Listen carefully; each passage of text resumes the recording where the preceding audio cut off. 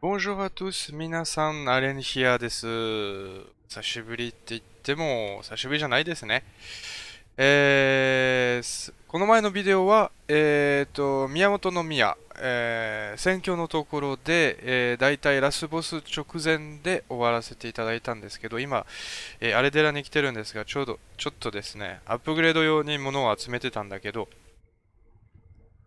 えー、実はなんか、ちょっと調べてるうちに、あ、一つ見逃したなっていうのがあったんですよ、これが。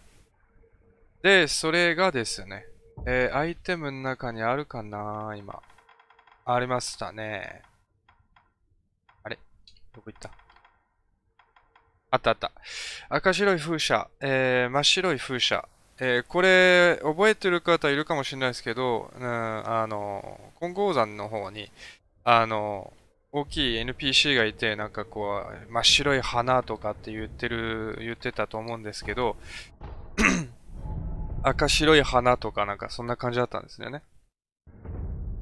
で、このイベントはですね、実は、あのー、一つは、真っ白い花を渡して、で、あのー、人具を使って、展開に活かせるみたいな。まあ実は大その猿3匹をやったところに活かせられるっていう感じなんですけど、えー、これで確か何かもらえたと思うんですが、なんかあんまりすごいものじゃなかったと思うんですよ。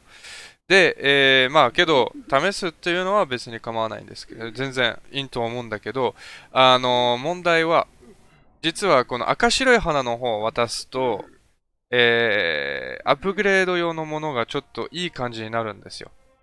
承認の方でね。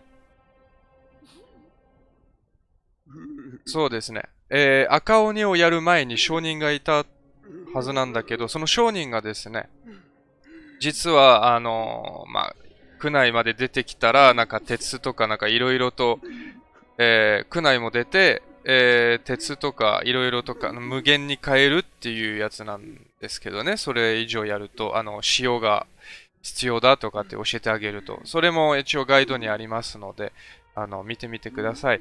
えー、で、実は、これ、もう一つ、こいつに赤白い花を渡して、で、あのー、その商人がで、実はですね、あのー、丈夫な人が欲しいって言うんですよ。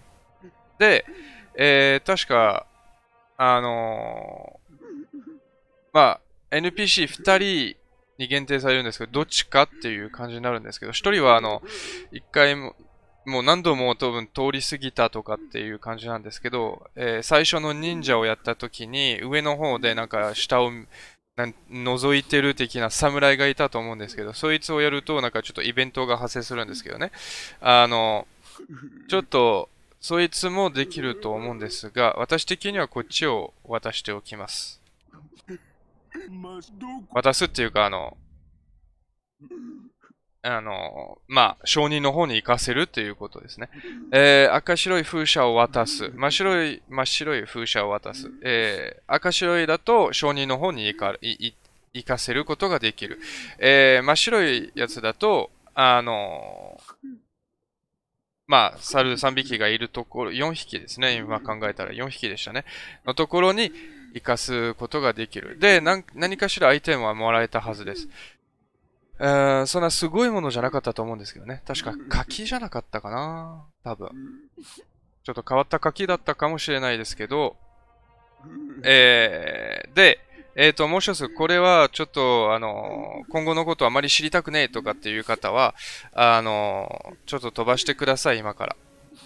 ただ、まあ、アップグレードをしたければ、こっちをやるしかないんですけどね。あの赤い、赤白い風車を渡すと。えー、実はですね、これ赤い風、あの、赤白い風車を渡すと、あの、証人のところで働くんですけど、実はこれ、彼を生かすか殺すかっていう感じになるんですね。で、えー、まあもちろんままた、あの、話は違う、変わっちゃうんですけど、実はもう一つ、もう一つイベントがあって、そいつを生かす、と違うところに生かすこともできるんですけど、それは、あの、今回はちょっと、あの、話さずにちょっと進めていこうと思います。えー、赤し、そうですね。あの、赤白い風車を渡すと、商人と働くんですけど、最終的には死にます。えー、だけど、アップグレード用アイテムをもう一つ無限に変えるようになるというやつですね。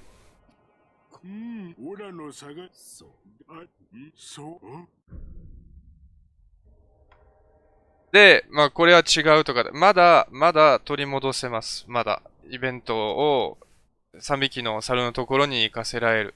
けど、行き先を紹介するっていうふうにやると、物売りの穴山を紹介すると。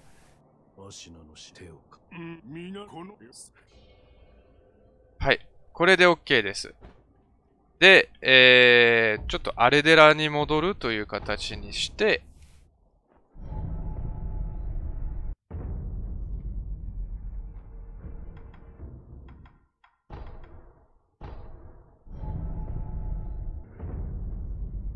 はい、すいません。いきなり、あの、初任のところまで行かせてもらいましたけど、えー、これで初任のところに入りました。おお、本に、穴山さんはいいお人だな。戦で死んだ人たちを弔うために、オラを呼んだそうじゃ。鎧兜を取って差し上げて、体を清めて、お墓を作る。このご時世で、なかなかできることじゃない。うん。実際確かにやってることは悪いことじゃないわな。旦那、いいやつを連れてきてくださった。力持ちな上、死体を漁るのもいとわね。おかげでまあ、ブグがたんまり儲けもがっつりでさ。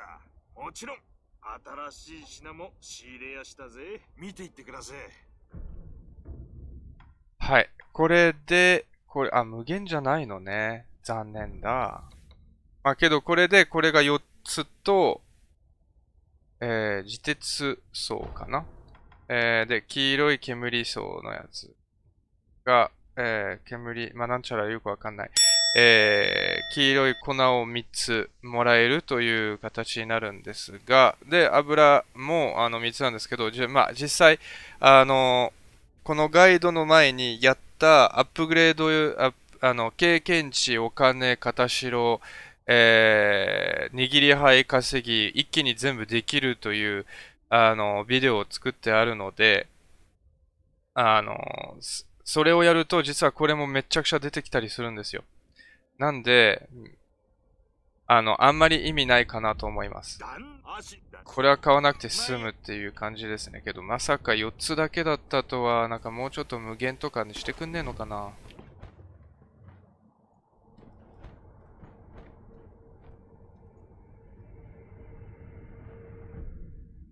で、ちょっと、えー、あれでらに戻らせていただきます。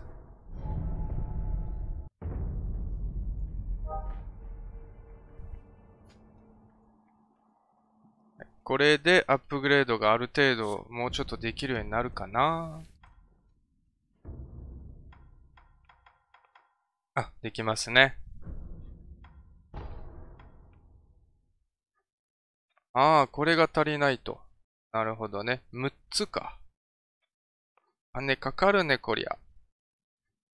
えー、実際ここで欲しいものっていうのはですね、私的には、まあ、これも必要だと思うんですけど、あの、ある一周のボス、まあ、恐怖をいっぱい出す、出してくるボスには、これがあると実は、あの、すごい楽になるんですよ。で、実際自分が一番欲しいのはこれと、泣き虫と、このスザクのクレーベニレンガザっていうんですかね。まあ、この二つ、スザクと、えー、泣き虫。この二つがすっごく欲しいんですよ。他は今もう見ての通りアップグレードある程度してるんですけど、この二つあると、あるボスがすごい楽になったりするんですね。これもそうです。なので、これを手に入れてください、できるだけ。はい。そうですね。それぐらいです。すいません。それぐらいですかね。えー、あ、あとはこれはあるボスを倒さなきゃいけないから、それを見せなきゃいけませんね。これを使う時が来たって感じですね。俺は足りてるんだね。足りてるけどこれがないと。なるほど。じゃあ、早速それをやってみましょう。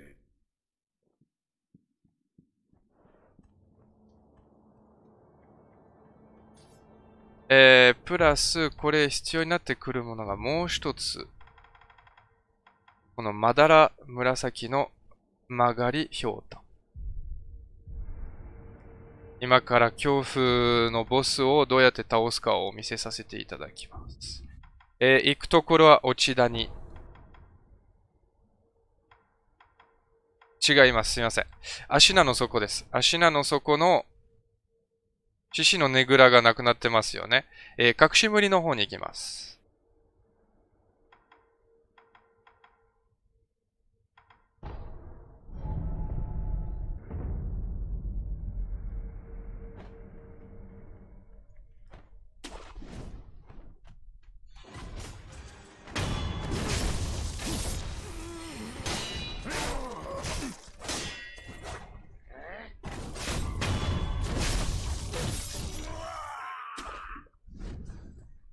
あ、いい経験近すぎになるな、こういうやつは。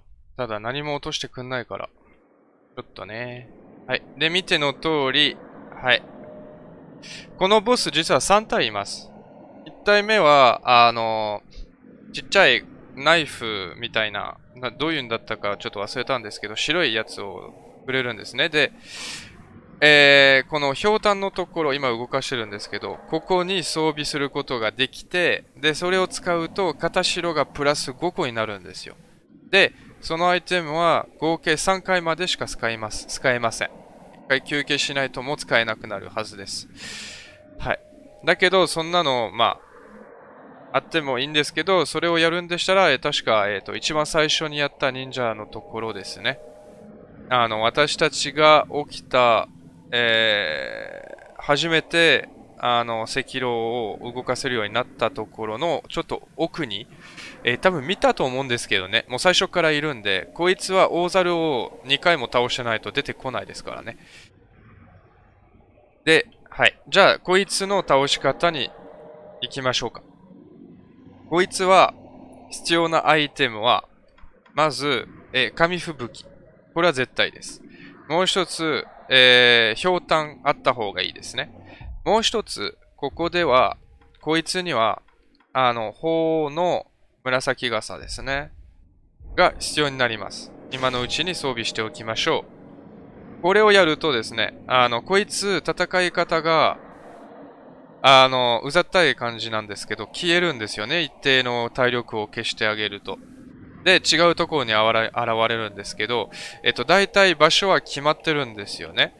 この奥に行くか、今彼がいるところぐらいに行くかっていう感じなんで、先回りをある程度しておけば、あの、結構楽になると思います。もう一つは、あの、カメハメハをしてくるんですね。一回消えて現れるときに。えー、そのカメハメハは、この紫傘で法の傘で、あのー、防げます。もう一つ、実は、あの、やり方があって、それが、あの、あの、見切りじゃないんですけど、完全防御ですね。もうちゃんと、こういうふうにタイミングよく合わせて、合わせられたら、あの、弾くことができて、プラス恐怖はなしになるんですが、あの、私はそんなに器用ではないので、えー、それはさあの、なしにさせていただきます。じゃあ、やっちゃいますか。はっきり言ってそんなすごい難しいわけじゃないので。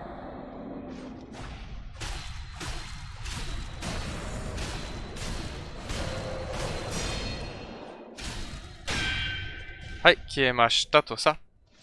えー、多分こ、いや、こっち側じゃねえな。こっち側だな。はい。はい、見ての通り、意味なし。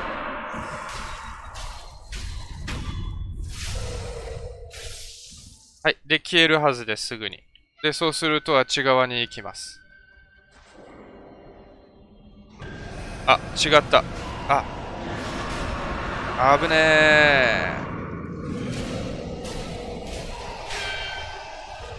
え。よし。今度はこっちだろ、お前。あ、近づいてるからこうなるのね。先回りするとそういう風になるんだ。いいことを知ったよ。あとは攻撃もしてくるんで、さっきはうまくやったんですけどね。えー、こうやって待つと多分あっち側に行くと。やっぱりな。そういうことね。で、近づいてきたらもう問題はないはずです。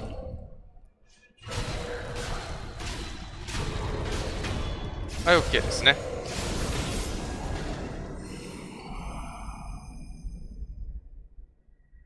はい、これで泣き虫の指輪。これが、えー、アップグレード用のアイテムになります。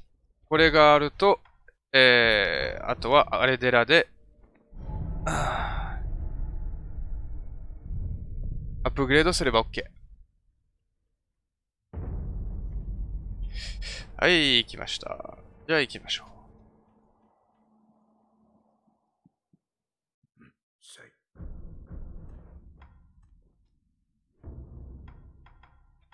今度は金かな？やっぱりね。お金が足りないと。けど泣き虫はあるので、もアップグレードはできます。泣き虫は見ての通りあそこにあるので、あのまあ、あとは金があればできるはずです。はい。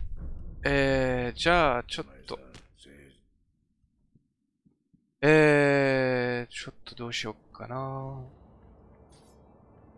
あ、じゃあちょっと続きをやりましょうか。続けて、どこに行くかというと、宮本の宮の、えー、宮の裏、内裏、行きます。OK ですね。これさ、面白いことに一回殺すと死んじゃうんですよね。あこれはちょっと後でお見せします。さて、じゃあ先に進みますか。えー、今からボスをやるわけじゃありません。今からは、あの、多分迷った人たちもいると思うんですけど、あの、あそこに行きたいのに行けないっていう方、いたと思うんですよ、これが。どうやって登んのとか、どうやって行くんだとかっていう方、実はこうやって行くんですよ。この屋根の上からジャンプして、あそ、そうですね。この屋根からジャンプして、あの枝のところに捕まると。で、できるだけ、あの、岩の方に向かってやった方がいいです。じゃないと一番下までまた落ちちゃうって可能性があります。よし、オッケー。これでオッケー。で、これやって捕まって、こいつには気づかれるんで、あ、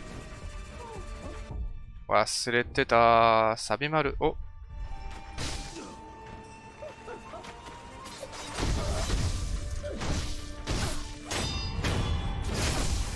よし、これで OK です。サビ丸最高。今まであまり使えないアイテムだと思ってたのごめんね。あこんなところにこいつらいるんですね。はい、終わり。そこは何もないはずですね。ちょっと見てみましょうか。最近全然、ここら辺。あ、よかった。今、怖かった。はい、オッケー。こいつら雷を出してくるんですからね。気をつけた方がいいです。まあ、こうやっていけちゃうということです。こんなところにまた犬がいるな。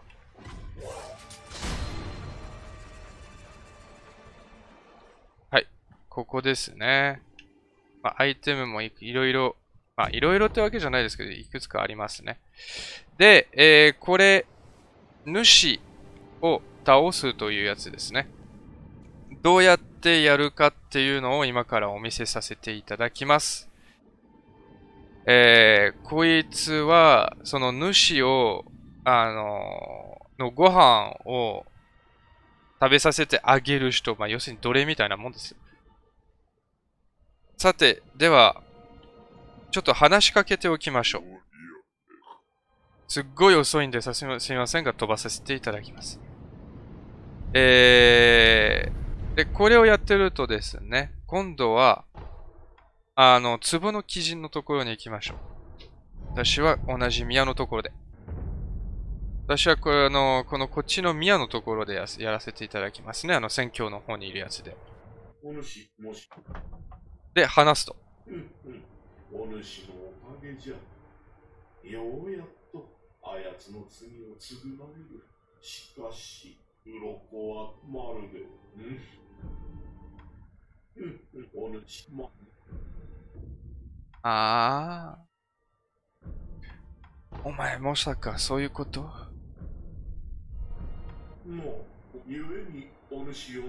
ああ、そうでした。ね。あの、すみません。こいつにある程度鱗を渡しておかないと、えー話が変わりません。姫事を聞きましょう。お、知って、姫事じゃ。この餌を、主の恋様に献上しておくれ。くれぐれも、誰にも知られず、ひそひそとな。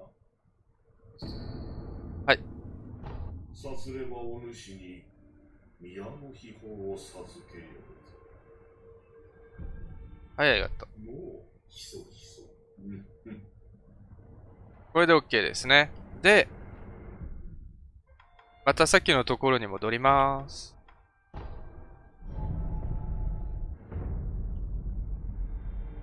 で、これで先ほど多分聞いた人の場合はわかるんですけど、ここにご飯を食べさせてあげるっていう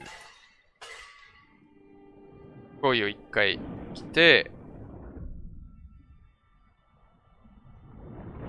で、普通の多分水の中で拾ったと思うんですけど、えーただ私は一つだけだったんで、残念ながらこれだと無理ですね。なので、誠のやつを渡してあげてください。えー実際過去にいるやつでも、あのーそういう話にすることができます。どっちかを選ぶことができます。問題、あの、アイテムの方は問題はないです。もしろまだ買ってなくても、あのあ、これ言うにはちょっと説明しなきゃいけないですね。えー、まあ、この、これで主は死ぬんですよね。で、主が死んだおかげで、その、誠の餌を、ああとは、あの、渡したっていう、まあ、渡したから死んだんですけど、その、壺のどっちの餌を与えたことによって、その人がその代わりの主になるんですよ。ものすごくちっちゃなですけどね。で、あのーそれをやると、アイテム、もう一人の壺の人が死んじゃうんですね。で、それをすると、なんかアイテムがなくなっちゃうんじゃねえかっていう方は安心してください。一人に全部まとまるんです。なので、そういうことは心配しなくて OK です。で、こうやってちょっと話しかけて、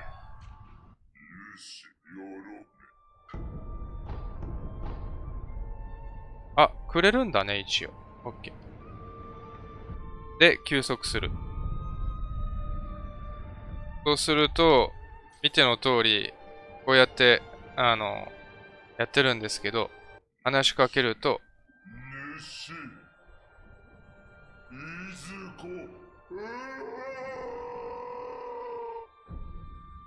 何もしないっていうことでいいです。えー、実際こいつ攻撃できるらしいんですよ。ただ攻撃すると、あの、もう何もイベントを続けられないんで、あの、まあそういうことでもいいんですけどね。あの、こいつ、すみません。えーこいつ、攻撃の仕方が実は、あの、赤鬼と全く一緒らしいです。なんで、あんまり、まあ、もまあ、面白くできるんですけど、アイテムを落とすわけじゃないんで、それはもう、もうその時の気分で決めて OK だと思います。えー、で、じゃあこのイベントをどうやって続けるかの方へ行きましょう。えー、獅子猿の水場。そこに行きます。はい。えー、見てください。獅子猿のところに、声が落ちました。えー、竜はもうみんな考えて結論が出たものは、この水、実は宮本の宮から落ちてるんじゃないかっていう話で、それでここまで流れたっていうことになったようです。実際は尽くした人が何、なんか言ったわけでもないみたいなんですけど、もうそれしかないだろうっていう話で、そう決まったみたいな感じですね。はい。見てください。もう、歯が、こんなに気持ち悪い。すげえ気持ち悪い。で、ここにアイテムがあります。主の白ひげ。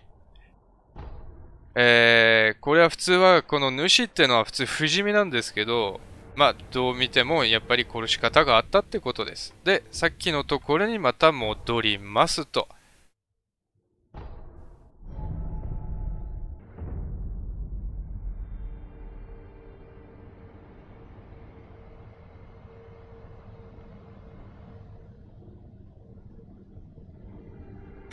はい、すみません。えー、戻りました。で、これで話しかけて、うおーとかって言ってて、あのー、で、今選択が出てきました。主の白ひげを渡す。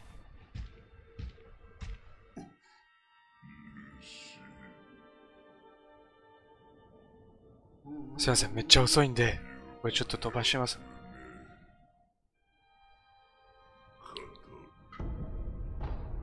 はい、ありがとう。まあ、こういうものがもらえると。で、えー、ここでもしもまだ次を見たければ、まあ、これはある意味ストーリーみたいなもんです、ちょっと。どっちかっていうと。あの、すっ飛ばしても別になんか今後なんか影響があるとか何もあるわけじゃないので、それはもうあの自分で決めて OK だと思います。ただ、どうやっていくのかと、あと何ができるかを見せたかっただけですね。えー、じゃあ休息しましょう。はい。見ての通り倒れて、今度は死んでると思いますね。じゃあ話聞きましょうか。お疲れ様でした。父様。永遠などなくとも、私も姉様もずっと一緒ですよ。だから、休みましょう。父様。最後の方にやっと顔見せたんですけど、気づかなかったですね。隠してるところ。違うとこ見ちゃってたですね。すみません。えー、気づいた方はいるかもしれないですけど、この人、あのー、真ん中に行くと死にますよって言って、あの、回り込んでいった方がいいですって言った女性です。で、ここで、お姉様って言ったじゃないですか。だからこそ分かりやすく、あの、あそこの屋根にいた人が、お姉様ってことになりますね。で、えー、今はいないってことがわかりますね。はい。なので、ちょっとだけ違うことを一瞬やります。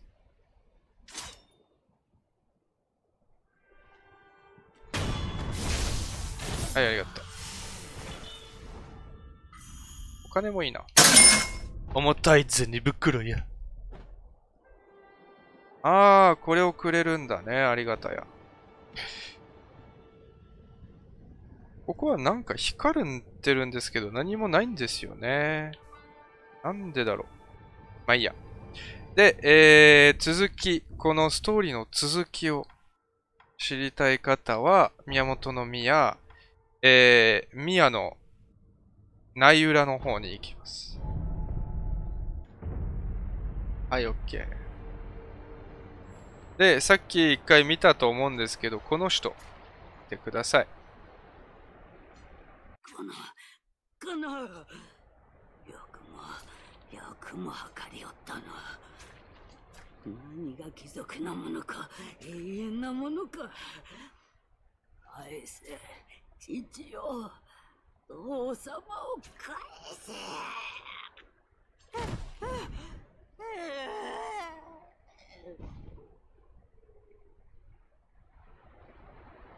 へえ。日本語だと言ってないんですね。これなんか。実はこれフランス語バージョンだと、あの、かっこ、倒れて寝るって書いてあるんですよ。どう見ても、死んでますよね、これ。動いてないですよね。息もしてないですもんね。これが寝るって言うんだったらすごいよ。はい。で、ここまで来て、この主のストーリーをまとめると、ここにいる貴族と実は主をの餌係だった人って実はもともと同じグループだったはずなんですよ。この娘たちもそうですね。で、どうしても力が欲しくて、あの、まあ、宮本の宮、まあ、宣教に行きたかったっていうことで、あの、多分主に何かしらお願いをしたところ、俺の世話係が一人必要なんだと言って、それで、あのそれだったらこっちに行かせるよっていうふうに言ったんじゃないかなと私は推測してます。で、そこで決まった人が、さっきの餌係になってた人ですね。ただ、騙されてです。あの、彼らに騙されて、で、餌係になっちゃったと。で、娘たちは、あの、この宮本の宮の人たちの下僕にされたと。まあ、奴隷ですね、どっちかっていうと。で、そこを、赤炉が、あの、この貴族たちをみんな殺して、で、えー、餌係を解放してあげたと、主を殺してですね。で、こういう風に見ることができると。面白いことに、これ、あのー、世話、まあ、えー、っと、なんだっけ、餌係の人と会って、なんか話した時に、この女性が出てくるっていうわけじゃなくて、さっき見えたように、あの、ただ単にもう一回ここに休憩してもう一回来たらこういう風になっちゃうっていう。そうすると、はっきり言ってこっちからすると、プレイヤーからすると、意味がわからんっていう風になりますね。そこら辺ちょっと分かって作っ、まあ、これはどう見ても、ちょっと、あの、プログラマーがちょっと忘れちゃったってことでしょうね。ちゃんとこういう風に、あの、連携させることを。これ上に行くだろう、主のとこ行くだろうとかって、勝手に思っちゃったんでしょうね。そういうわけでもないんですよね、実際は。はい。はい。じゃあ、このビデオはすいませんが、ちょっとここまでにさせていただきます。あの、ちょっとやることもあるので、えー、で、あと次は、えー、この宮本宮ラスボスをやります。え、また前にも同じように言ったんですけど、あの、ボスまでやると思ってたんで、ただちょっと今回はちょっとそれが叶わないということなんですが、えー、忘れないでください。エンディングのことを一つも進んでいないっていう方。要するに違うエンディングが得られるんですけど、そのエンディングのことを一つもやってない方。あの、ここの宮本の宮のラスボスをやると、もう引き返せません。要するにエンディングは普通のエンディングしかないっていう風になります。なので、あの、もしエンディングを選べるようにしたいっていう方は、今から4つか5つぐらい前のビデオから見てください。一応名前は載せてあります。の、エンディングってわけじゃなくて、あの、エンディングの名前で載せてます。えー、竜の気境と、あと人帰りですね。そっちの方にさせてるんで、そっちの方を見てください。お願いします。はい。じゃあ私はこれで出演させていただきます。えー、アリエンヒアでした。ご視聴ありがとうございました。次のビデオまで、オーバー